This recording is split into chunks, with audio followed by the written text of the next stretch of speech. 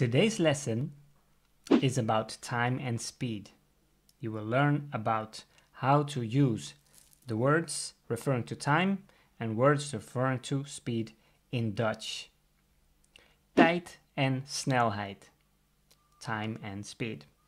Alright, because you will need uh, many of these words in your daily life and your daily work, so it's very important that you understand and practice the pronunciation and the meaning uh, of these words. So if I would say I am on time, I say ik ben op tijd.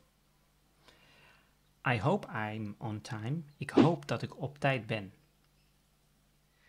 If I'm too early or early, I say ik ben vroeg. Yesterday I was early at work. Gisteren was ik vroeg op werk. Late is laat in Dutch.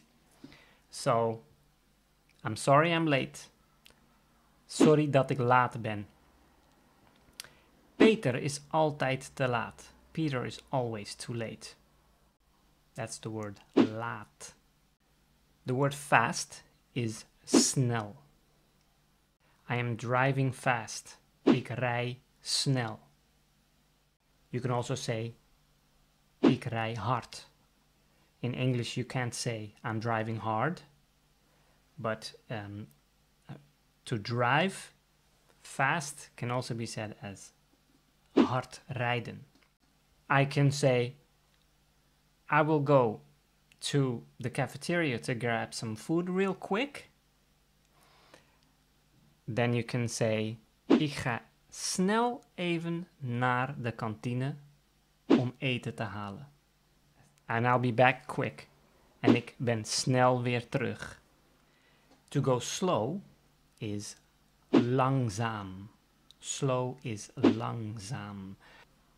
Deze auto rijdt erg langzaam. This car is driving really slow. This meeting is going very slow.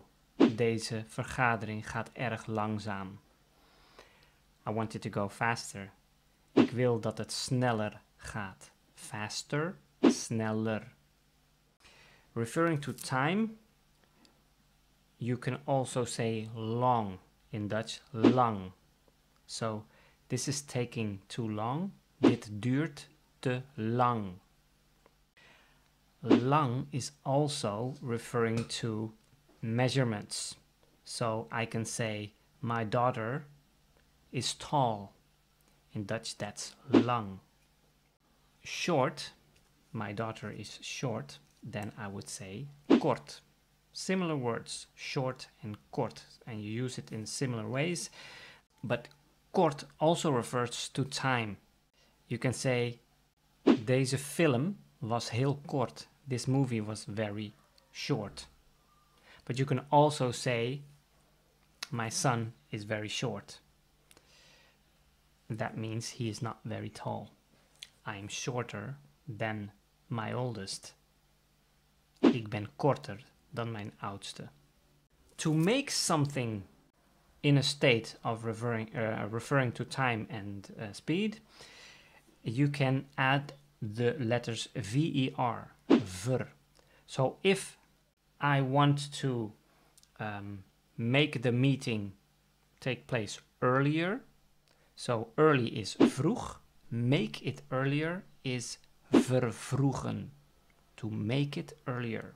If I want to make it uh, make the appointment later, then I also add ver to the word laat. So I can say verlaten. I want to ik wil de meeting verlaten. Verlaten also means to leave but referring to time, you can also say verlaten to make it later.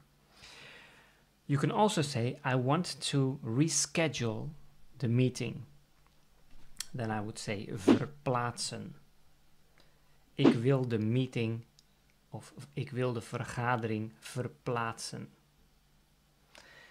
Verplaatsen also means something else. You can also use verplaatsen as relocate. So Ik ga mijn stoel verplaatsen means I'm going to relocate my chair. So verplaatsen refers to time and uh, objects. Versnellen means speed up. Ik wil graag dit proces versnellen. I want to speed up this process. And the reverse vertragen means to uh, lessen the speed. So I want it to go slower. Kunnen wij dit proces vertragen? Is dit proces vertraagd? Can we lessen the time of this process?